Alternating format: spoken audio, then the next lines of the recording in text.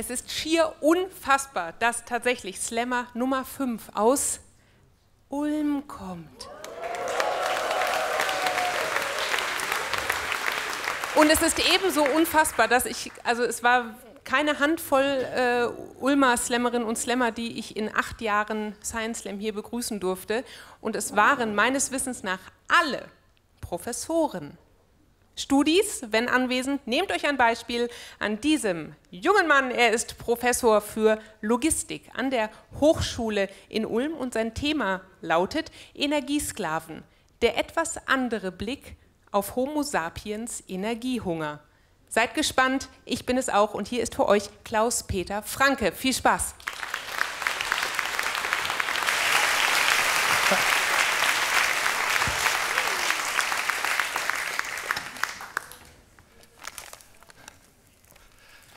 Ja, schönen guten Abend. Ich freue mich hier zu sein. Vielen Dank. Aufgrund der Nähe bin ich mit dem Fahrrad gekommen. Ich habe hier auch noch ein Utensil und werde demnächst auch noch äh, nach einem Assistenten fragen. Vielleicht äh, kann sich der eine oder andere schon überlegen. Ja, äh,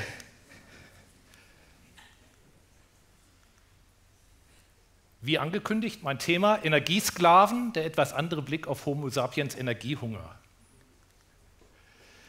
Im Fokus des Vortrages unsere Spezies, Homo sapiens.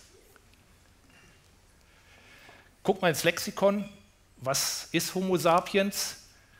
Das für Homo sapiens steht für verstehender, verständiger, beziehungsweise weiser, gescheiter, kluger, vernünftiger Mensch.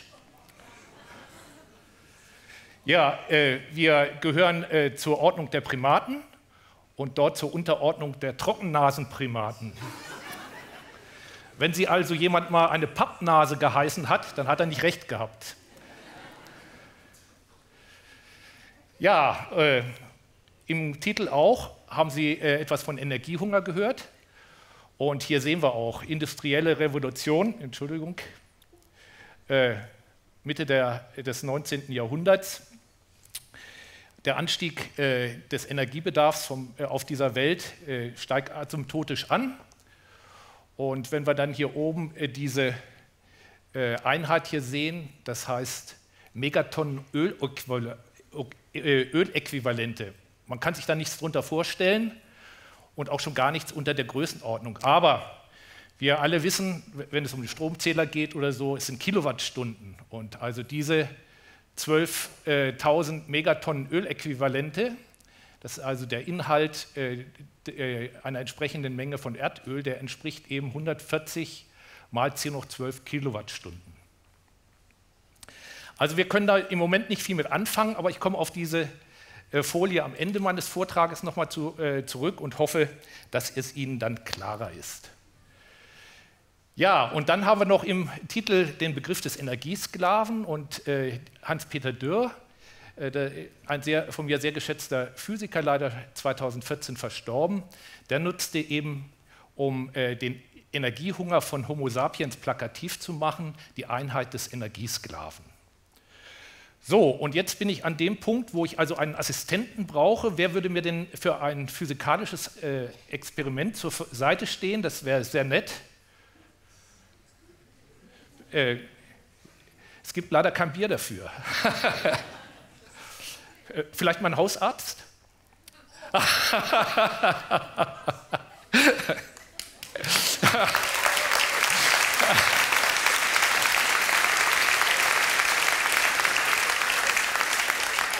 Herr Dr. Helmus, herzlichen Dank. Es geht also darum, es geht gleich um Kräfte, Arbeit und Leistung. Und äh, also Sie stellen jetzt sozusagen ein arbeitendes System her und Sie brauchen nichts anderes machen, als sozusagen Arm auszustrecken und dieses Kilo Zucker zu halten. So und. Nur den rechten oder? Ja, äh, nur den rechten. Und wechseln darf man auch nicht. Und äh, Sie passen bitte auf, wann dieses System instabil wird, okay?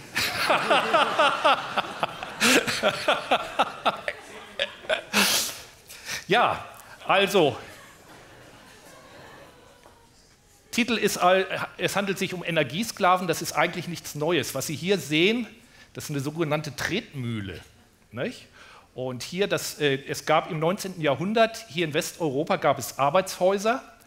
Und äh, hier sehen Sie also äh, Zwangsarbeiter, die hier sozusagen in Treträdern sind und die äh, den Antrieb für eine Großgerberei darstellen. Die wurden übrigens von äh, Wächtern des, der Staatsinquisition überwacht.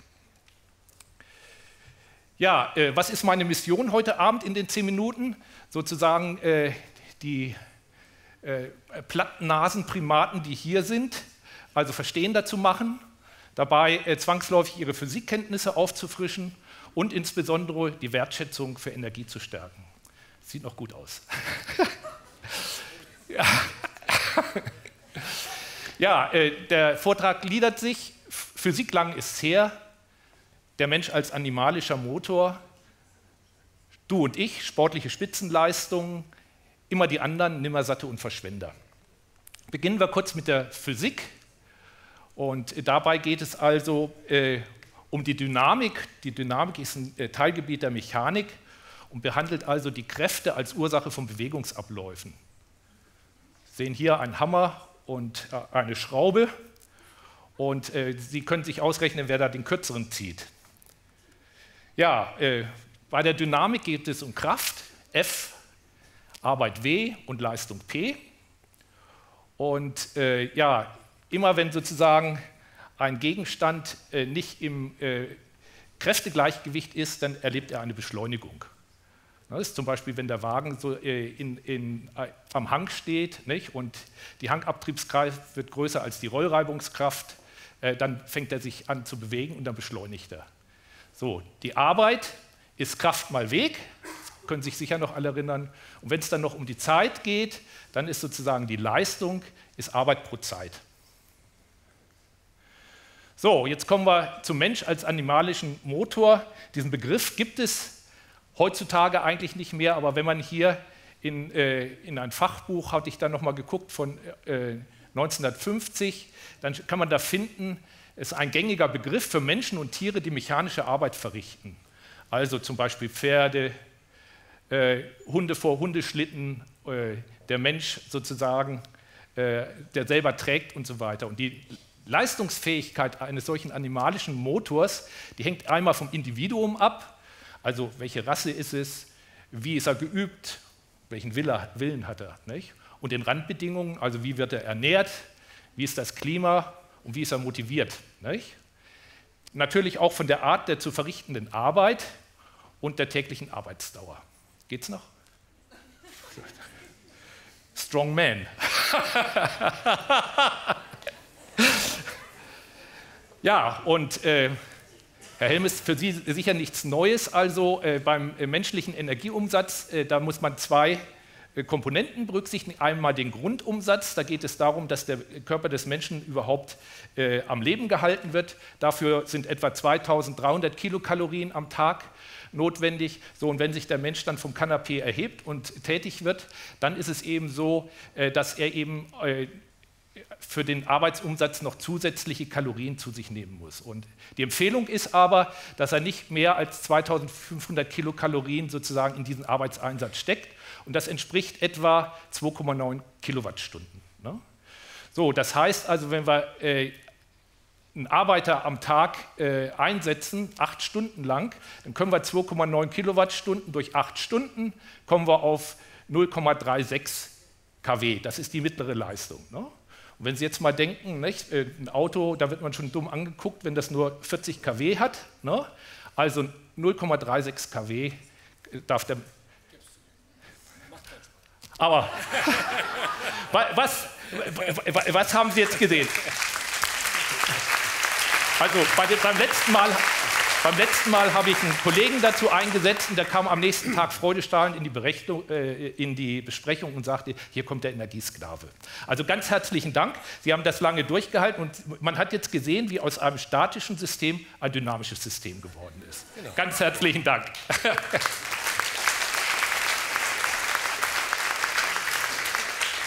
Ich schätze mal, das nächste Mal, wenn ich in Ihre Praxis komme, dann kriege ich eine Spritze und die lassen Sie stecken. Ne?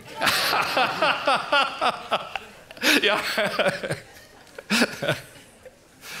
so, also, äh, wenn äh, der Mensch also an einem Arbeitstag, der kann also über acht Stunden im Mittel nur 0,36 kW sozusagen an Leistung aufbringen. Das ist aber die interne Leistung, das ist, das ist die Leistung, die der Körper aufbringen muss. Die kommt aber am Ort des Geschehens, dort wo der Nutzen stattfindet, kommt die gar nicht an, denn dazwischen liegen Wirkungsgrade. Und wenn man hier mal, das ist so eine Bibel des Maschinenbauers, die Hütte, äh, Ausgabe 1955 reinguckt, dann sieht man eben hier Wirkungsgrad äh, beim Schaufeln 5 Prozent. Also von diesen 0,36 kW kommen sozusagen nur 5% bei der Schaufel an. Ne? Die anderen 95%, die werden sozusagen im Körper in Wärme umgesetzt. Dann hier unten, wenn wir jetzt Radfahren haben, ne, das ist schon besser, 25 Prozent. Ne? Das heißt, 75 Prozent der Energie von diesen 0,36 kW, die gehen auch in Wärme auf. Sie fangen an zu schwitzen, ne, wenn es ein bisschen schneller geht. Und äh, so, das heißt, nur eine Folie weitergehen, wir haben gelernt, mittlere, äh, mittlere Leistungsbereitstellung bei 8-Stunden-Tag, äh, unberücksichtigt Wirkungsgrad, das nennen wir mal interne Leistung, 0,36 kW. Dann kommt der physikalische Wirkungsgrad von 5% bis 30% dazu, 5% beim Schaufeln, äh, 30% sozusagen bei einem Wagen schieben. Dann müssen wir also das, was äh, am Wirkort ankommt, müssen wir diese 0,36 kW mit diesem Wirkungsgrad multiplizieren und dann kommen tatsächlich an äh, 0,02 bis 0,11 kW. Ist wirklich nicht viel. Und wenn Sie dann sagen, okay, 0,1 kW, äh, der Einfachheit halber merken wir uns das mal, das entspricht einer 100 Watt Lampe. Das bedeutet also, wenn Sie zu Hause eine 100 Watt Lampe an, äh, anlassen, dann sitzt im Nebenraum einer und strampelt. Ne? Wenn Sie 200 Watt Lampen haben, strampeln zwei. So, dennoch, dieser Wert 0,36, der gilt ja für einen 8-Stunden-Tag. Wenn Sie kurzzeitig äh, sozusagen belastet werden, dann können Sie Spitzenleistungen bis etwa 0,5 kW realisieren. No, ne? und äh, das äh, weiß zum Beispiel jeder. Ne? Ihre Freundin hat sich äh, im Graben festgefahren und Sie müssen hinten schieben, dann können Sie alle Kräfte aufbringen und Sie kriegen sie vielleicht raus, aber Sie könnten das nicht zehn Minuten machen. Ne? Ja, das heißt, Spitzenleistung ist fünfmal so viel etwa wie der Durchschnitt. So, und jetzt kommen wir, jetzt will ich Ihnen das mal ein bisschen, das war ja Theorie, jetzt will ich es Ihnen äh, ein paar Höchstleistungen sozusagen klar machen. Und äh, da ist zum Beispiel der Weltrekord im Stoßen. Nicht? Das ist 2004 in Athen hat den der Hussein Reza Sadeh aufgestellt. Und zwar hat er unglaubliche 263,5 Kilogramm, 1,8 Meter hoch äh, und da, ich habe das mal im Video abgemessen, das waren 12 Sekunden. Also, selber ausgerechnet, äh, Leistung ist gleich Arbeit pro Zeit, der hat 0,4 kW geleistet, 0,4 kW. Ne? So, das ist also, hier sehen wir wieder unsere Glühlampen, nicht vier, viermal so viel, wie ein durchschnittlicher äh, Arbeiter eben leisten kann. Ne? So, dann gibt es hier den äh, Todd Reichert, der hat also in Nevada 2015 einen Weltrekord aufgestellt mit dem schnellsten muskelbetriebenen Fahrzeug. Das ist also hier ein Fahrrad. Augenblick. Und äh, der ist 140, unglaubliche 140 Stundenkilometer gekommen. Das, äh, das, kommt eben dadurch, durch diese stromlinienförmige Form. Nicht? Und das, äh, der Fahrwiderstand, der, äh, der, nimmt mit dem Quadrat der Geschwindigkeit zu. Und die Leistung nimmt sogar hoch 3 zu. Ne? So, und der hat 0,7 kW. 0,7 kW, um 140 Stundenkilometer zu fahren. Ne? Stellen Sie sich vor, äh, wenn man äh, jetzt ein äh, Polo hat oder so und die Geschwindigkeit hat, da fährt man mit 60 kW durch die Gegend. Ja, und dann haben wir schließlich hier noch einen, der tritt auch ein Fahrrad, so ein sogenannter Ergometer. Und der Mann, der ist also hier Bahnrad-Weltmeister, Robert Förstermann. Und dem wurde die Aufgabe gestellt, einen Toast zu toasten. Nicht? Der hat sich also da drauf gesetzt und ist nachher fast vom Rad gefallen, als dann schließlich die Tuschscheibe rauskam. Und der hat also hier sage und schreibe 700 Watt erzeugt. Nicht? Also um eine Scheibe Toast braucht man eine Leistung von 700 Watt. So, das heißt hier, ja, vorhin haben wir gesehen bei dem Gewichtheber, der hatte nur vier so Lämpchen. Das lag natürlich an seinem schlechten Wirkungsgrad. Wir hatten ja gehört, beim Heben hat man nur einen Wirkungsgrad irgendwie von 6 Prozent, beim Radfahren hat man eben einen von 25 Prozent. Ne? So, immer die anderen, Nimmersatte und Verschwender.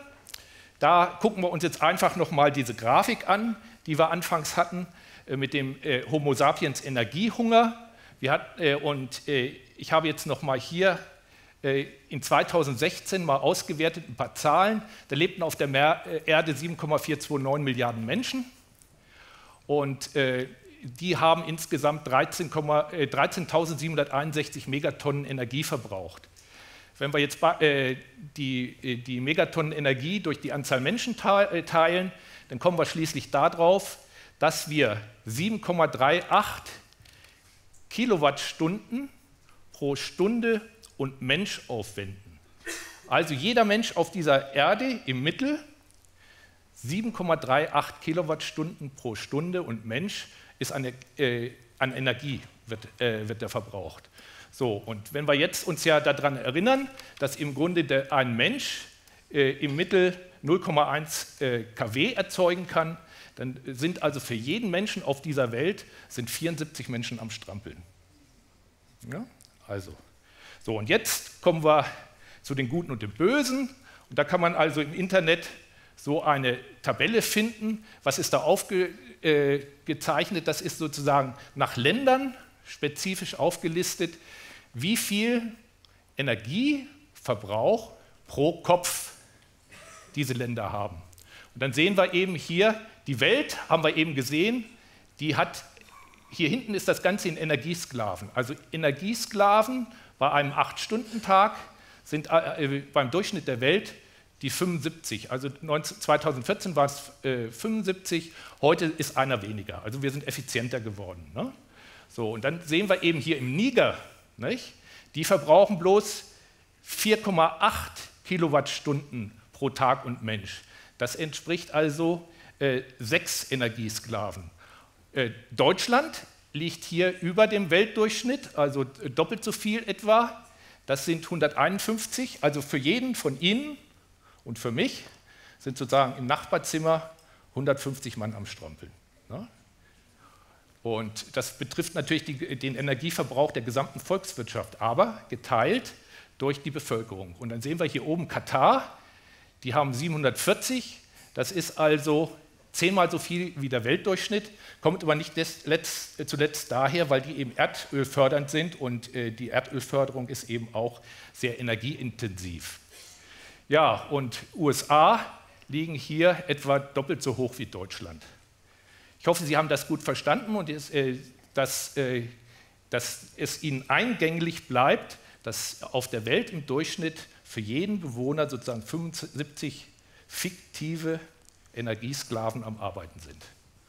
So, ich hoffe also, dass ich meine Mission erfüllt habe, Sie als Vertreter der Plattnasen und äh, Sie verstehender gemacht habe, äh, Ihre Physikkenntnisse ein bisschen aufgerüttelt habe und dass ich vor allem Ihre Wertschätzung für Energie gestärkt habe. Und verneige mich mit einem Bückling.